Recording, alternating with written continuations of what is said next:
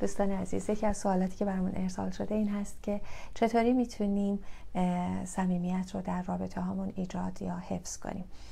پیشنهاد ما براتون این هست که تجربه هاتون رو افکار و احساساتتون رو و در یک کلام خودتون رو راحت ابراز کنید. خودتون رو سانسور نکنید. وقتی توی رابطه خودتون رو ابراز می‌کنید این منجر میشه به درک متقابل. یار شما شما رو بهتر می‌شناسه بهتر درک می‌کنه و اون هم به نوبه خودش خودش رو راحت ابراز می‌کنه.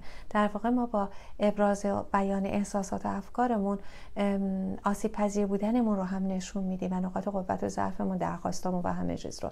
نتیجتا این درک متقابل ایجاد می‌کنه. درک متقابل خودش منجر به تعهد متقابل میشه و باز تعهد متقابل خودش می‌تونه منجر به اون بیان و ابراز احساس بشه که این مجموعه یا این دایره یا چرخه ای که در اون قرار می‌گیریم صمیمیت رو ایجاد می‌کنه و حفظ می‌کنه.